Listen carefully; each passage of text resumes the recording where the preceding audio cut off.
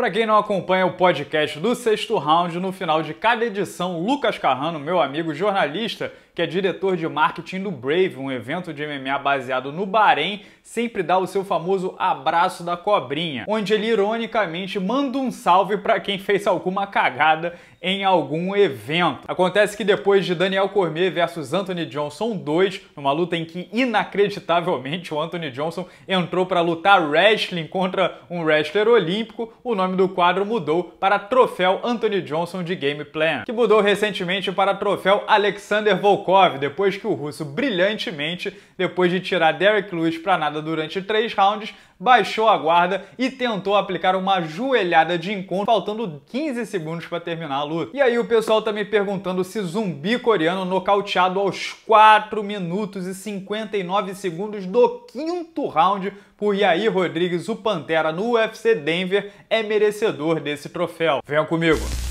Bom, do ponto de vista técnico, eu adianto que se teve alguma coisa que o Shanson Young, né, o zumbi coreano, fez no último sábado que me irritou, foi ele não ter usado o seu ponto forte, a luta agarrada. Ele basicamente trocou por 25 minutos contra um faixa preta de Taekwondo, um dos strikers mais criativos da categoria. olha que o mexicano, a partir do terceiro, quarto round, já se mostrava bem cansado, então o zumbi poderia ter ido pelo caminho de menor resistência se tivesse insistido um pouco mais. Mas sobre o desfecho em si, não. Eu acho que é 100% mérito do Iair Rodrigues que conseguiu encaixar uma das cotoveladas mais plásticas, mais belas, mais impactantes já vistas na história do MMA, que lembra um pouco a cotovelada de Anderson Silva contra Tony Frickland lá no Cage Rage. Para quem não lembra, o Spider Anderson Silva estava de frente para o adversário, ele desceu o braço e voltou com a cotovelada. Já o Pantera deixou a cabeça do zumbi coreano passar e pegou assim Muita gente falando que era cagada, que ele nem olhou, mas não foi cagada. Quem assistiu a luta viu que ele em outra ocasião tentou, depois de um soco rodado,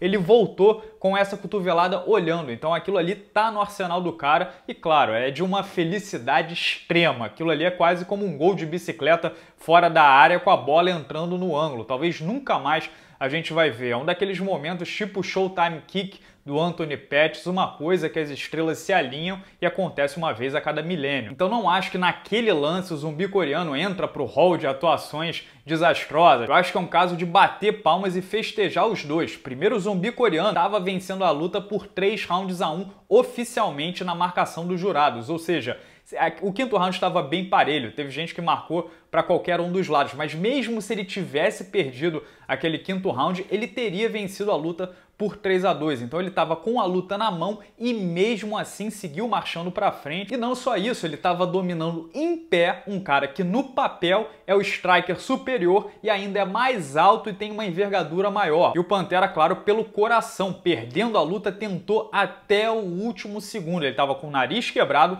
completamente extenuado, tanto que quando a luta acaba, ele cai no chão, colapsa. O pessoal tem que ajudar ele a levantar e a dar entrevista. Ele foi para o hospital, passou mal, ficou a noite toda, tá com os pés em estado deplorável. Em entrevista hoje a TMZ, ele mostrou, então não tá numa boa situação física e mesmo assim foi até as últimas consequências, até aquela famosa sensação de quase morte. Agora, se eu fosse da equipe, um treinador do zumbi coreano, é claro que a gente ia ter que falar sobre senso de urgência e pragmatismo. Não dá para você com a luta ganha três rounds na sua conta marchar para frente até o último segundo como se só valesse nocaute ou finalização para vencer a luta. O caso é tão emblemático que faltando 10 segundos, tem aquele sinal, né, as três batidas, eles estão desengajados, eles dão até ali um abraço, um cumprimento e o zumbi coreano vai para cima ainda assim. Então fica a lição que se o mais importante é a vitória, são os três pontos, é chegar mais perto do cinturão, é necessário ser pragmático, quebrar o ritmo, ter uma cadência, uma inteligência, um controle emocional, porque na ponta do lápis agora o zumbi coreano com 31 anos cai mais duas posições no ranking depois de ter ficado parado tanto tempo servindo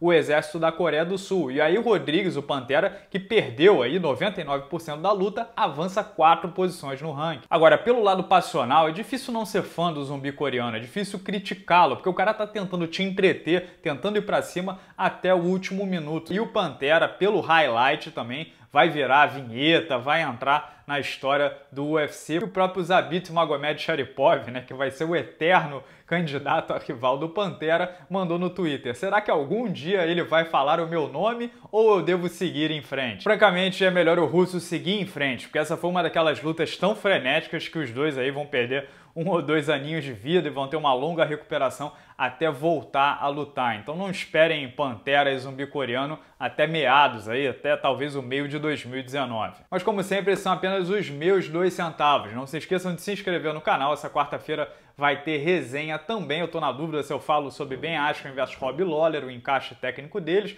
ou a possibilidade de Anderson Silva enfrentar Ioel Romero. Podem me sugerir pautas também, usem aqui a caixinha dos comentários para sugestões. Então é isso, meus amigos, um grande abraço, até a próxima.